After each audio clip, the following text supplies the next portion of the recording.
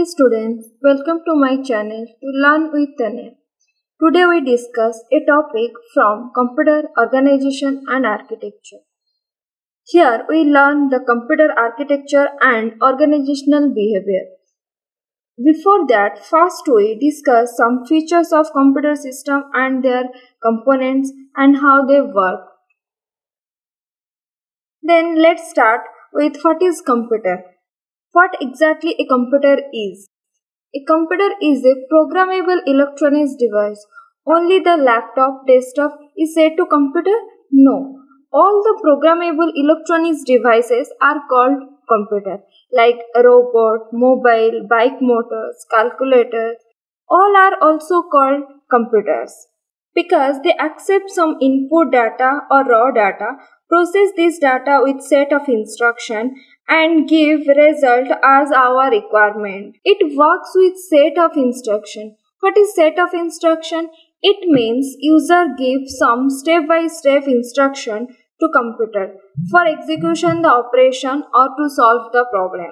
Like if we want to add two numbers like a and b, then we give instruction to the computer to add these numbers and show the results. What can computer do? A computer take the value of A and B, run with give step-by-step instruction and display the result to the users. We also call program if set of instruction written in a programming language like C, C++ or Java.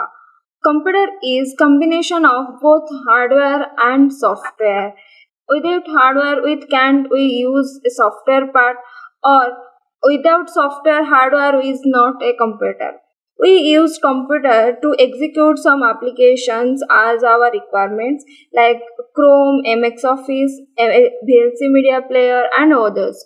Computer makes our job become easier. So in today's life, maximum to maximum, we de depend on computer.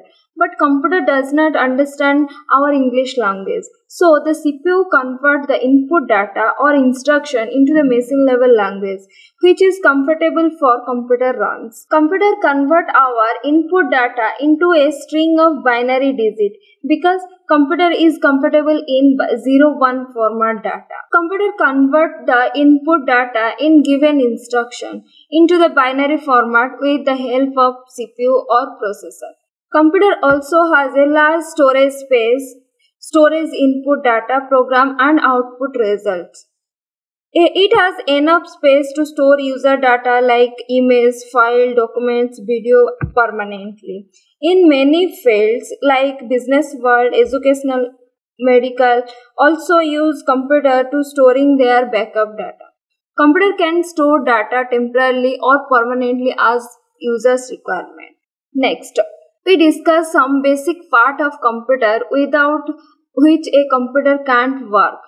Here we discuss some basic part like processor, memory, then motherboard and etc. Let's start with processor. Processor is the brain of computer with good reason. It is a hardware unit.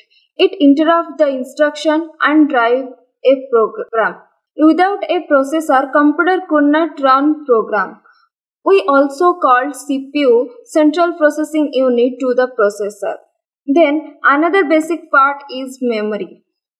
We mainly use memory in two different works. First is to store the data and to communicate the processor with the storage device. If any data present in memory, then processor can access directly. But if any data presently present in external storage device like hard drive, pen drive, then computer memory can transmit it to as processor requirement.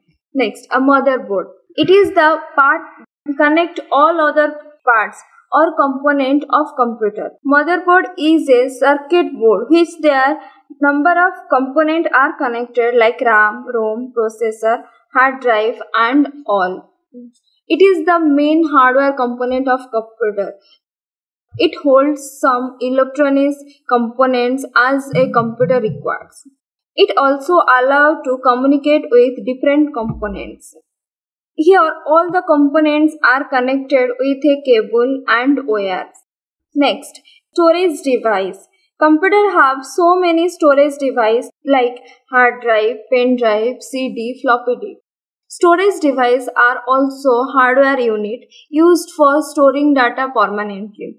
They may they may be internal or external to the computer. The internal storage device allow the data and application to be loaded very rapidly into the memory. It is always ready to use and access time is less. But the external device used for permanently storage and backup data. Another basic part is input device. Keyboard is the main input device used for given instruction to computer. Through computer, we give step-by-step instruction to the computer for solving the problems. Although mouse, microphone, digital camera, joystick, user used for communicate with the computer. These are the equipment used to provide data and control signal to computer. Last one is output device. It uh, enable you to see the output or give information to user. Output device are also hardware components. It convert the information into user readable form.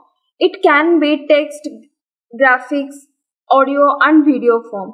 Some example of output device are monitor, printer, speaker which directly gives information as a result to user.